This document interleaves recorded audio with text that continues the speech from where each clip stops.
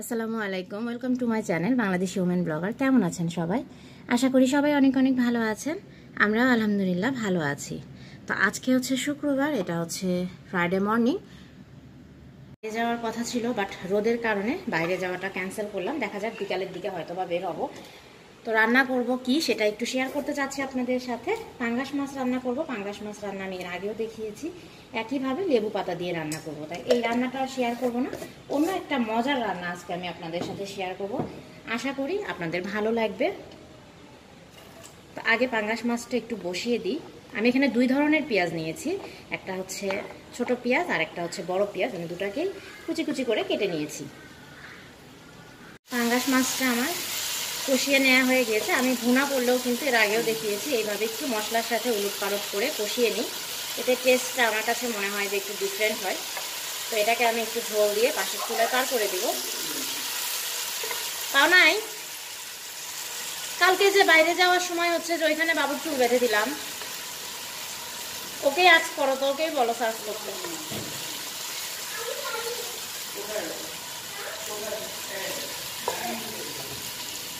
এই যে পানিটা দিয়ে দিলাম। আর একটু পানি লাগবে। আমি যেহেতু কাঁচামরিচ দিয়ে রান্না করছি, সেহেতু কিন্তু কালারটা একটু ফিকে হবে। আপনারা চাইলে গুঁড়ো মরিচ দিয়েও রান্নাটা করতে পারেন। আজকে যেহেতু ফ্রাইডে সেহেতু রুফায়দার দায়িত্বটা আমার একেবারেই নাই। ওর সব কিছু আজকে ওর পাপাই করবে। আমার শুধু আজকে ঝটপট রান্নাটা সেরে নেওয়া। তো আজকে যে রান্নাটা আপনাদের সাথে শেয়ার করছি, এটা কিন্তু একদম আঙ্গুল চেটে পুটে ভাত খাওয়ার মতো একটা রান্না। কি রান্না করছি সেটা আমি বলি নাই, সেটা একটু বলি। এই যে দেখেন, জালি কুমড়া। জালি কুমড়াকে আমি একদম গ্রেটার দিয়ে পলে নিয়েছি। এই রকম একটা গ্রেটার, এটা কম বেশি আমাদের সবার বাড়িতেই আছে। তো এইটা দিয়ে আমি একদম পলে নিয়েছি। আমি যেভাবে জালি কুমড়াটা ভাজি করছি এইভাবে যদি বাসায় আপনারা ভাজি করেন, কথা দিচ্ছি, আপনারাও কিন্তু একদম আঙুল চেটে ফুটে ভাত খাবেন। তো এই পেঁয়াজ, কাঁচামরিচ, আর দিয়ে দিয়েছি কিন্তু একটু লবণ, এখন হালকা একটু হলুদ দিয়ে দিব। এটা সম্পূর্ণই অপশনাল চাইলে দিতে পারেন, না চাইলে স্কিপ করতে পারেন। আপুরা, ভাইয়ারা যারা আক্স করেছেন, আমার কেমন আছি এখন? তো আলহামদুলিল্লাহ ভালো আছি জাস্ট গলাটা এখনও একদম পুরোপুরি ভালো হয় নাই। ইনশাল্লাহ এটাও ভালো হয়ে যাবে খুব তাড়াতাড়ি। আপনারা সবাই দোয়া করেন আমার জন্য বেশি বেশি করে। তো এই যে জালি কুমড়াটা আমি কিন্তু পানি ঝরিয়ে রেখেছি, তারপরেও দেখছি হালকা একটু পানি। তো এটা পানিটা কিন্তু একদম ঝরিয়ে নিতে হবে।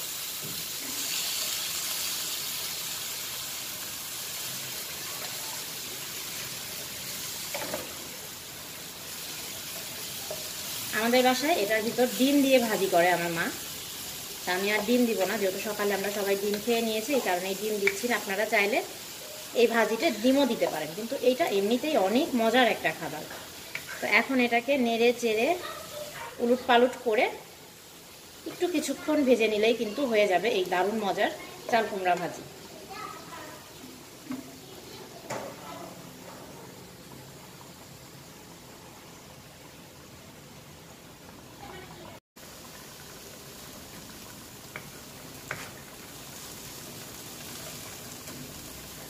ঝটপট কিন্তু তৈরি হয়ে গেল, একদম মুখে লেগে থাকার মতো একটা কুমড়ো ভাজি। আমার কথা বিশ্বাস না হলে এখনই ঝটপট করে ফেলতে পারেন, আশা করছি আপনাদেরও আমার মতো খুব পছন্দ হবে এই ভাজিটা।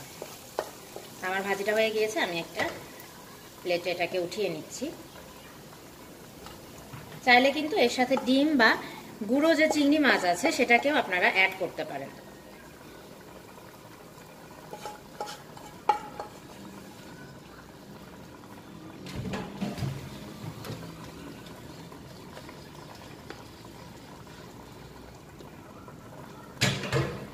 এই যে।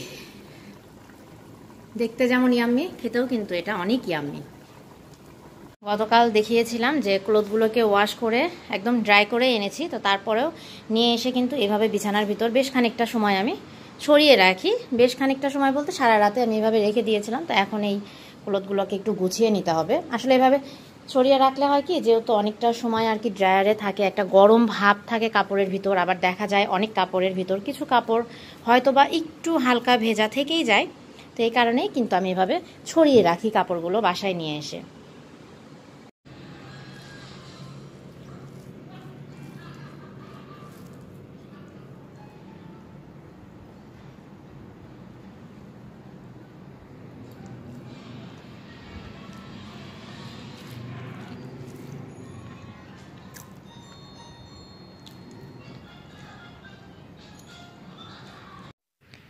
এটা হচ্ছে সন্ধ্যার সময়। তো মাগরীবের আজান দিয়ে দিয়েছে এই কারণে আমরা আগে নামাজটা পড়ব। নামাজ পড়ে তারপর আজকে লুলুতে যাব। আমার টুকিটাকি কিছু কেনাকাটা আছে। কি বিষয়ে কেনাকাটা আছে এটা একটু বলি। আমি যখন থেকে ঠিক করেছি ডায়েট করব, তো বিভিন্ন ধরনের ডায়েট প্ল্যান দেখেছি, চার্ট দেখেছি, বাট কোনোটাই আমার কাছে ঠিক সুইটেবল মনে হচ্ছিল না। তারপরে একটা আপুর কথায় ডাক্তার মোহাম্মদ জাহাঙ্গীর কবির স্যারের চারটাকে ফলো করতে শুরু করেছি কয়েকদিন হলে। তো হালকা পাতলা কিছু জিনিস আমার কিনতে হবে, আর আমি কিন্তু আপনাদের সাথে কথা বলতে বলতেই মসজিদে চলে এসেছি। মাগরিবের নামাজটা আদায় করে তারপরে হচ্ছে যে আমরা লুলুতে যাব। আর ডায়েটের বিষয়েও কিছু কথা বলব। তো আগে নামাজটা পড়ে নিই, তারপর এখান থেকে বের হয়ে তারপর আপনাদের সাথে আবারও কথা বলছি। কি কি কিনবো, কি কি জানলাম, কি কি করলাম সব কিছু ইনশাল্লাহ শেয়ার করব। তো নামাজ শেষে বের হয়ে গিয়েছি। তো যেটা বলছিলাম, বিভিন্ন ধরনের ডায়েট প্ল্যান দেখার পরে যেটা হচ্ছিল যে একটু না একটু কেন জানি না উনিশ বিশ হয়েই যাচ্ছিল। তো স্যারেরগুলো যখন আমি দেখলাম, তো আমার কাছে মনে হয়েছে এটা করাটা আমার কাছে সহজ আর সবাই খুব ভালো রিভিউ দিয়েছে, সবাই ফল পেয়েছেন। জানি না আমার ক্ষেত্রে কি হবে, তো আল্লাহর নাম নিয়ে শুরু করলাম আর এই জন্যই আজকে কিছু কেনাকাটা করতে চলে এসেছি। ভাবলাম এটা আপনাদের সাথেও শেয়ার করি হয়তো বা আপনাদেরও উপকার হবে। তো আমি মোটামুটি সব কিছুই নিয়ে নিয়েছি। তো এই যে দেখতেই পাচ্ছেন আরও বেশ কিছু বাজার ছিল, সেগুলোও হয়ে গিয়েছে। তো এখন আমরা বাসায় যাব। বাসায় যে ডক্টর মোহাম্মদ জাহাঙ্গীর কবির স্যারের চার্ট ফলো করে আমি আজকে রাত থেকে কি দিয়ে ডিনার করি, ডায়েট করি, সেগুলো আপনাদের সাথে শেয়ার করব। তো আমরা বাজারগুলো নিয়ে বাসার দিকে যাচ্ছি। বাসায় যেয়ে আপনাদের সাথে শেয়ার করব যে আমি স্যারের চার্ট অনুযায়ী কি কি শপিং করলাম আর টুকিটাকি কিছু বাজারও করেছি। আমার একটু সালোয়ার কেনার দরকার ছিল, সেটাও নিয়েছি। তো চলেন বাসায় যাওয়া যাক। বাসায় যেয়ে আপনাদের সাথে শেয়ার করছি আজকের কেনাকাটা।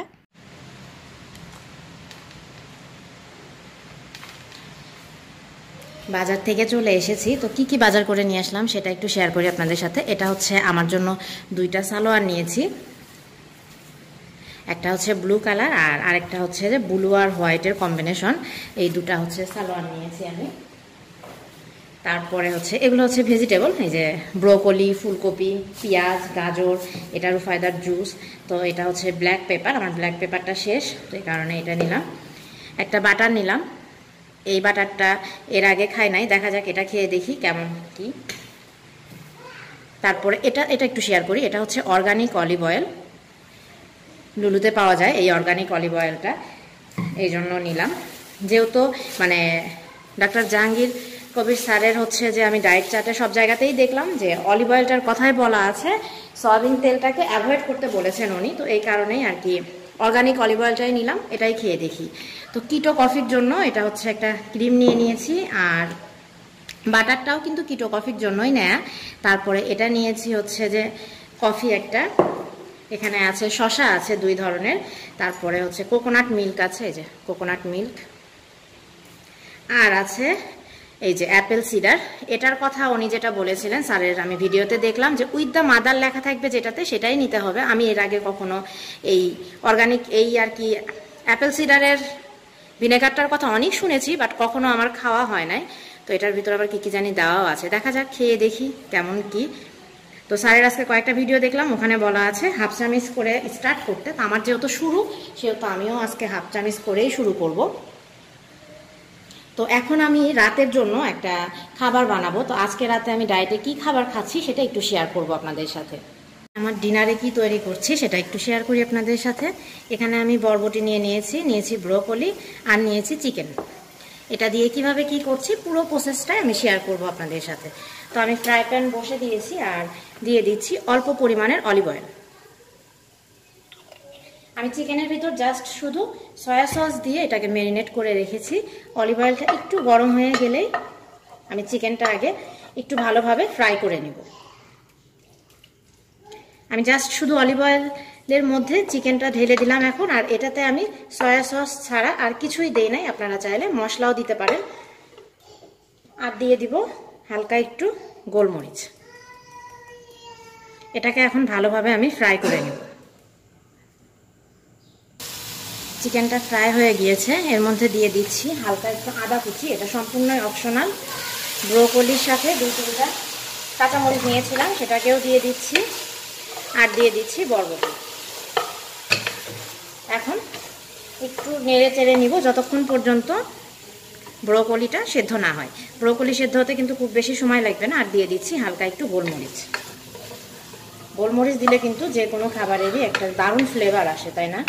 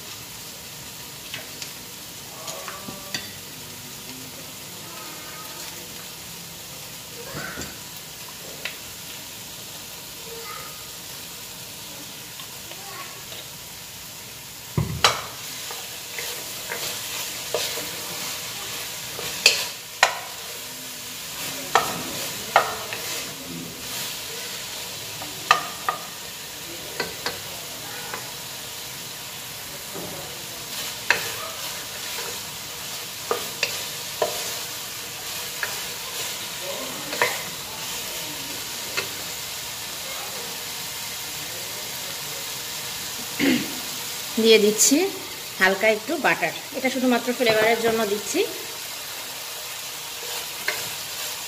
যাদের বাটার খেতে ভালো লাগে না, তারা স্কিপ করতে পারেন, কিন্তু আমি যেহেতু স্যারের চারটায় ফলো করছি, এই কারণে তিনি যা যা ব্যবহার করতে বলেছেন, আমি কিন্তু ঠিক তাই তাই ব্যবহার করছি।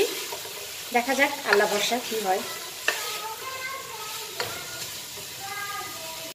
এটা হয়ে গিয়েছে, এই যে রেডি এখন একটা প্লেটে নিয়ে নিব, আর আমি শশাও কেটে নিয়েছি ইতিমধ্যে।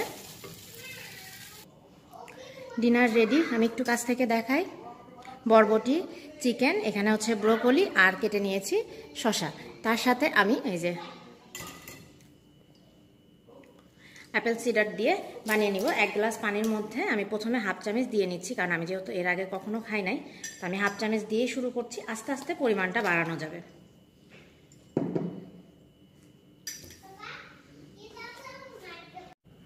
তো আমি এখন আমার ডিনারটা করব। আশা করি আপনাদের ভালো লেগেছে। আমি যেহেতু চেষ্টা শুরু করেছি, তাই ভাবলাম আপনাদের সাথেও শেয়ার করি। আশা করি আপনাদেরও উপকার হবে, আপনাদেরও ভালো লাগবে। তো আমি প্রতিদিন কীভাবে ডায়েট করি, কীভাবে কি খাই ইনশাল্লাহ ধীরে ধীরে সব কিছুই শেয়ার করব আপনাদের সাথে। তো আজকের ব্লগটা আমি এখানেই শেষ করি। সবাই ভালো থাকেন, সুস্থ থাকেন, আমাদের জন্য দোয়া করবেন, আমরাও আপনাদের জন্য দোয়া করি। আজকের মতো আল্লাহ হাফেজ।